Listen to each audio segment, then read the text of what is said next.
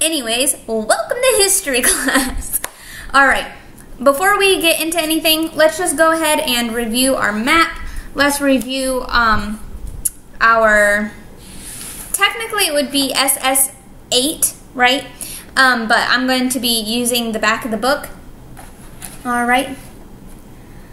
Um, and then I'm going to go over quiz 6 with you. I am going to explain something about quiz 7 with you, okay? Um, because quiz 7 is tricky. So I'm going to help you a little bit on quiz 7 today. So, um, um, if you do not have an adult home with you, um, come back to this video later. That way you can know what you need to do for quiz 7. Okay? All right. So, we've been learning about the, uh, I keep saying um today, so that's like my thing. I'm trying to not do it right now because it's really annoying, especially for you guys who have to listen. Let's, um, there it is again. Let's study these countries that are zoomed in from the Mediterranean Sea coast. Let's study these. We have Beirut, Lebanon, Jerusalem, Israel, Amman, Jordan, Damascus, Syria. Let's say those again. Ready? Beirut, Lebanon, Jerusalem, Israel, Amman, Jordan, Damascus, Syria. You guys read about Syria yesterday on, well, not yesterday, Tuesday? Tuesday on your own. So I hope that you um, did well on that. And I will be checking out, checking it out. Um, there it is again. Then we have Turkey, Iraq, Baghdad, Iraq, Tehran, Iran, mm, Riyadh, uh, Saudi Arabia, Yemen, Oman, Qatar, United Arab Emirates, Kuwait, Armenia, Georgia, the island country of Cyprus, We have Ankara, Turkey, or Ankara, Turkey. Over here are the ruins of Troy, and that's really cool. You guys have probably noticed these things. Okay, so I am going to say a country, and I want you, hmm, I want you to point to it as fast as you can on your book map. Are you ready? Iran. Did you get it? Okay, I'll hold it up so that when I tell you the answer, you can do it. Okay, Iran.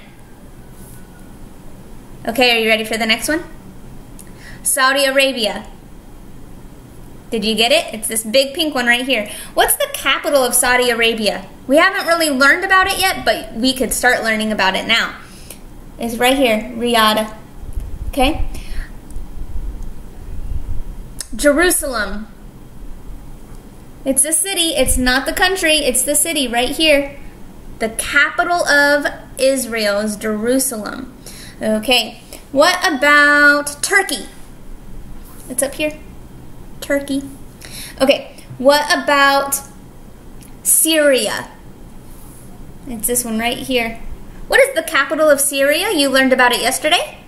Damascus. And did you ever figure out what um, important person from the Bible was walking to Damascus and he encountered God? Paul. That is, remember, he used to be named Saul, and then he was going to Damascus, and after that, he changed his name to Paul. Okay, what about Iran? I know we already did this one. I want you to do it again. Iran. It's this one right here. What's the capital of Iran? Tehran, Iran. What's the capital of Iraq? Baghdad, Iraq. Okay, now let's have you do a little one. Find Kuwait. Find Kuwait. Is this little baby purple one right here? You can't even see it. Right here. Okay, now find the Black Sea. It's up here. The Black Sea. What about the Persian Gulf? That's down here. Okay, the Mediterranean Sea. That's over here. The Caspian Sea, the largest lake in the world, the Caspian Sea, down here. The Red Sea, down here. Okay, I think that's enough with our map for today. Go ahead and either turn to page 330 or get out SS8. It's up to you which one you want to use. I'm using this one because it's all in the same book. It's easier for me. But if you have your paper out, that's good too. Okay, let's talk about our um, lines of latitude. We have the Arctic Circle, the Tropic of Cancer, the Equator, the Tropic of Capricorn, and the Antarctic Circle. What is the main meridian? The main line of longitude called? Remember, lines of longitude are called meridians. What is the most important one? The prime meridian. The prime meridian is our most important meridian. And when we combine our lines of latitude and our lines of longitude, we get our globe with the grid on there. Okay? All right. So let's go over your quiz number six. Get out a pen of your choice. Okay? Get out a pen of your choice. You could choose pink, you could choose blue, you could choose green. Maybe not yellow because yellow is hard to see and I need to be able to see what you did on your quiz in your pictures, okay? So let's go over your quiz number six, okay? Quiz number six.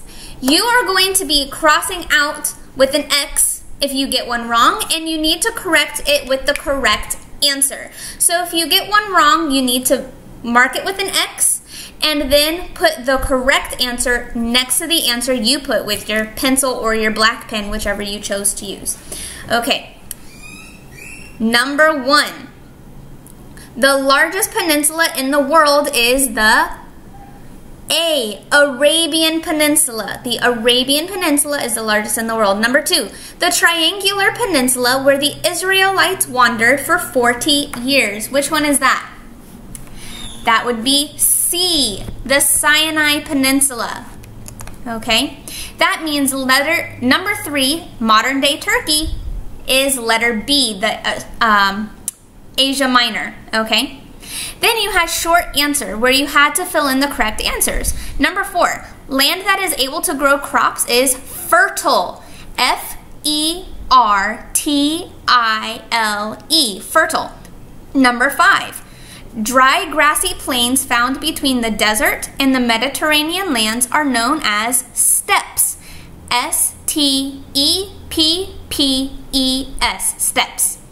Number six, the imaginary lines on the Earth that run east to west are lines of latitude. They go from east to west, they go sideways. Latitude. L A T I T U D E. Latitude. Number seven. The imaginary lines on the Earth that run north to south are lines of longitude, L-O-N-G-I-T-U-D-E. Then for section three, they um, were quizzing you on your lines of latitude and longitude. So letter number eight is letter E, the Antarctic Circle, letter E, all the way down there at the south. Number nine, the Arctic Circle is letter A. Number 10, the equator is letter C. Number 11, the prime meridian. You know, I should be showing you these. That way you can see. Okay, so number 8, the Antarctic Circle is down here, letter E. Number 9, the Arctic Circle is up here, letter A. Number 10, the equator is the main line of latitude, letter C. Number 11, the prime meridian is the main line of longitude, that's letter F. Number 12, the Tropic of Cancer is up here, letter B. And number 13, the Tropic of Capricorn is letter D down here, in between the equator and the um, Antarctic Circle. Okay, so that is quiz number six. Make sure you have that graded and ready to send back to me to today. Okay, all right. Well, I will go over quiz 7 with you at the end of today's video. I will not forget because I have it right here, but I need to turn my page. There we go. We got it. Okay, so let's get out our books, get out your notes, get out everything that you need, okay? And let's turn in our books to page 57. You guys read part of 57 with me, and then you read part of 57 on your own, where you learned about Damascus. What is special about Damascus? Damascus is the oldest, one of the oldest cities in the entire world. It's not the oldest city in the entire world, but one of the oldest cities in the entire world. Okay? All right. So we today are going to be reading about the country of Jordan and Iraq. So let's start reading on page, oof, page 57, right here, Jordan. Be ready to say all of the bold words with me, all of the words that are underlined, and things like that. And don't forget to write them down in your notes later, okay? Jordan. Jordan is over four times larger than Israel, its neighbor to the west. The British controlled Jordan from 1921 to 1946, when it became an independent kingdom. In 1952, King Hussein, say that with me, King Hussein became the country's leader and ruled until his death in 1999. About half of the Arabs who lived in Jordan are Palestinians who fled when Israel became an independent nation in 1948. Most Jordanians follow the Islamic religion. So, most of the people who live in Jordan follow what religion? Islam. And who was their first king in 1952? King Hussein. And he died five years after I was born in 1999. All right, let's keep reading about Jordan. The capital city, Amman, how do you say the capital? Amman. And the capital, Amman, is the capital of what country? Jordan. Amman, Jordan, is located on old trade routes and is still a major trading center. Here's a picture of Amman. Okay. Around 1000 BC, Amman was the capital of the Ammonites. Ooh. King David and Joab led the Israelites in the capture of the city. Later, other groups captured Amman. Okay? Now, let's start talking about Iraq. Iraq. Mesopotamia, where the Assyrian and Babylonian empires once raised their proud heads, is now called Iraq. Some Bible scholars believe that the Garden of Eden may have been located in this area. That's pretty cool. The country's two principal rivers, the Tigris and Euphrates, flow southeast from the mountains of Turkey toward the Persian Gulf, providing Iraq with some of the best farmland in the Middle East, up here. About one third of the Iraqi people are farmers, with the other two thirds living in cities. Over 4 million people live in Baghdad, the capital and largest city. So, what is the capital of Iraq? Baghdad. And up here is a picture of Baghdad. What is the capital of Iraq? Baghdad. What is the largest city of Iraq?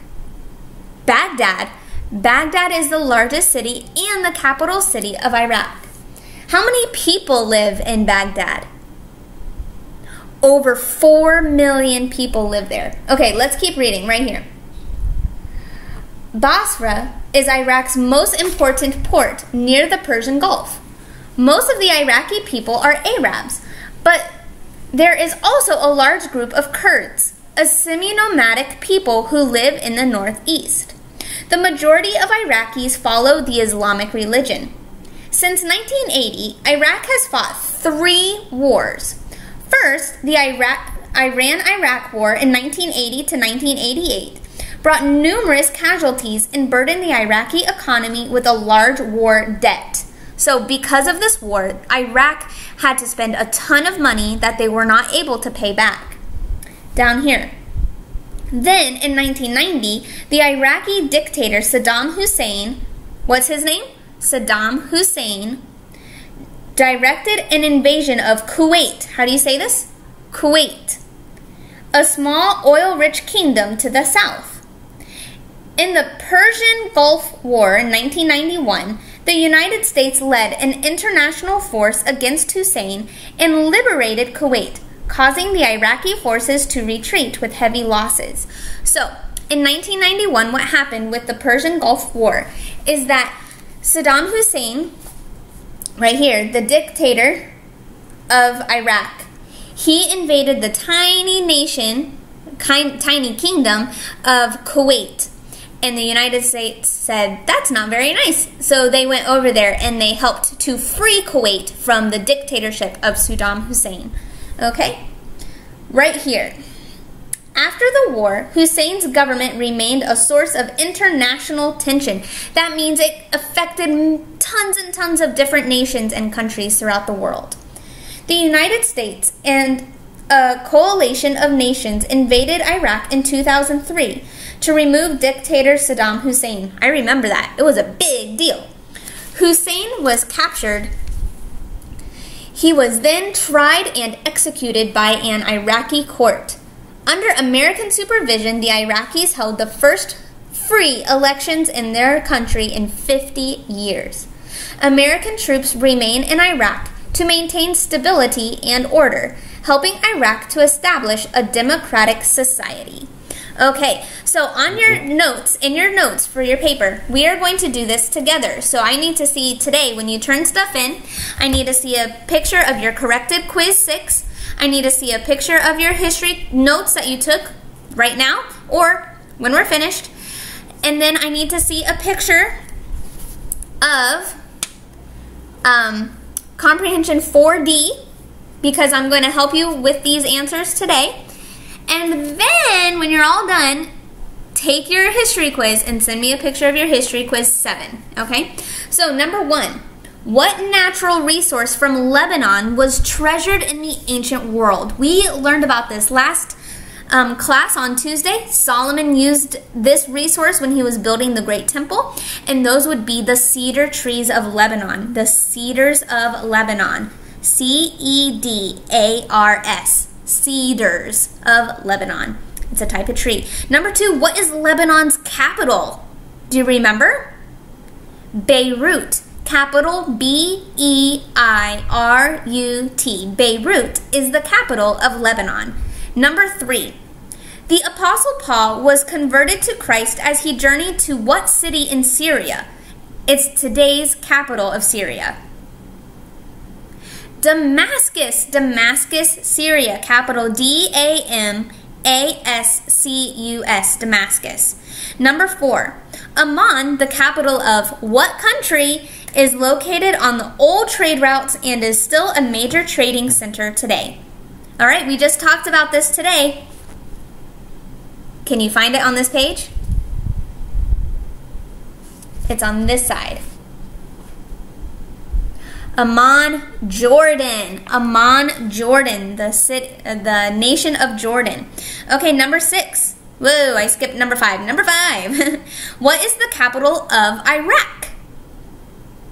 The capital of Iraq is Baghdad, capital B A G H D A D, Baghdad. Number six, what aggressive action started the Persian Gulf War? And I'm going to let you answer this one on your own because it's right here. The in the Persian Gulf War, the United States. Uh huh, right here. Um, then, in 1990, the Iraqi dictator Saddam Hussein directed an invasion of Kuwait, a small oil rich kingdom to the south. Ooh, sounds like I just gave you the answer. But if you need more help, just read this little section right here, and that's where your answer is for number six. Okay, for those of you who do not have an adult at home and cannot take your quiz right now, goodbye. And when you come back, just click Fast forward to 19 minutes and 36 seconds, okay? All right. All right, so those of you who have parents at home, woo, we are going to talk about quiz number seven, okay? Quiz number seven. Now, quiz number seven, questions one through eight are perfectly fine, okay? Numbers one through eight are just fine. However, um, I would like for us to fix section uh, 3, so numbers 9 through 12.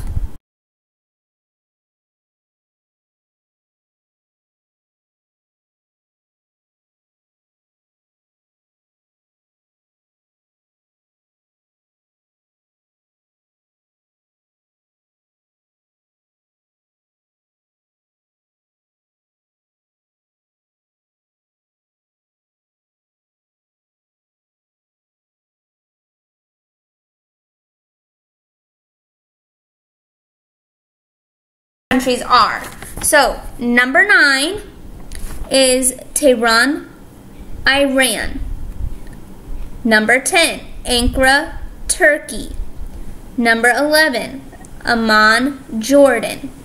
Number 12, Riyadh, Saudi Arabia. Okay?